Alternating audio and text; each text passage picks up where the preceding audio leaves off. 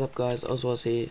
Um, today I'm showing you a Roblox exploit called Enigmatic or something like that. Can't say it properly, but it's a Lua script executor executes like grab knife and stuff like that. So what you want to do is just open this up, minimize all the way to your desktop, and just drag the folder onto your desktop. I'll replace the file, because I already have it there, but so open that up, go into Roblox game, I'm in the Martial Arts Battle Arena, so go here, just click Injector, and just leave this open, just minimize that, and then open the Enigmatic application. So this is it, just go to scripts, and here's some scripts you can use.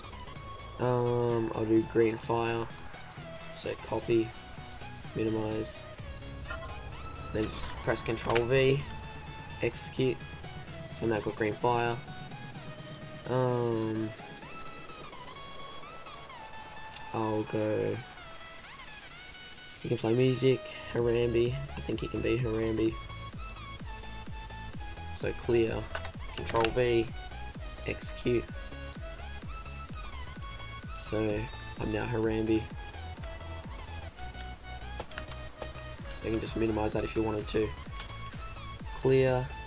I'll do another script. Um, control player victim. Um, I think that means I have to put player in there. Wolf boy zero four one one oh eight. So just copy that now. And I'll just minimize all this and then just control V in there and click execute.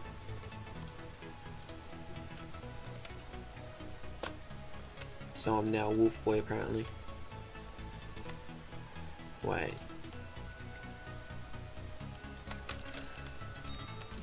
Yeah, I'm Wolf Boy. So I can do all his stuff. That's actually pretty cool. I can control him. He's probably wondering what, what's happening. So remember like and subscribe.